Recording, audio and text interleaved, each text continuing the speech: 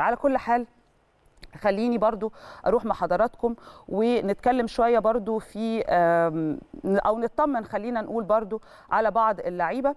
وتحديدا هنا لو أنا هتكلم عن كولر وخططه كمان لتطوير يعني اللاعبين أعتقد حاجة كانت أكثر من رائعة لأن ده بيرجع في الأول وفي الآخر تاني هقول للمدرب اللي بيعرف إزاي يطلع أفضل ما في اللعيبة وإزاي يطور مهاراتهم وإزاي كمان يخليهم يقروا بعض في الملعب. دي مش سهلة. لما جينا بنتكلم قبل كده عن روح النادي الأهلي روح النادي الأهلي يعني إيه؟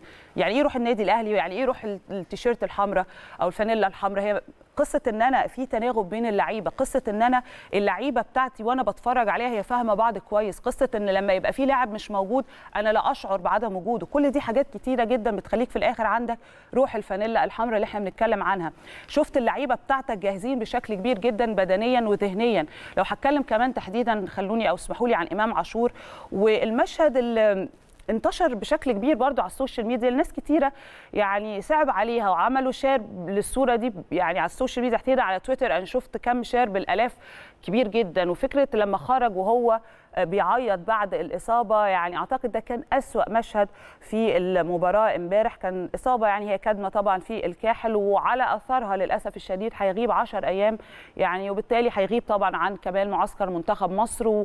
ومفروض مفروض يعني زي ما بيتقال اللي إحنا سمعناه آخر حاجة المفروض تقرر استدعاء أحمد نبيل كوكا لاعب الأهلي بعد إصابة إمام عاشور عشان يروح هو لصفوف المنتخب. على كل حال أمر أكيد يعني كنا نتمنى عدم حدوثه. آه، ناس كتيرة كانت بتقول لك يعني إمام عاشور فعلا فعلا صفقة أكثر من رائعة. تحديدا في الآخر أو آخر ثلاث ماتشات. لا إمام عاشور كان متألق جدا أثبت نفسه بشكل كبير جدا.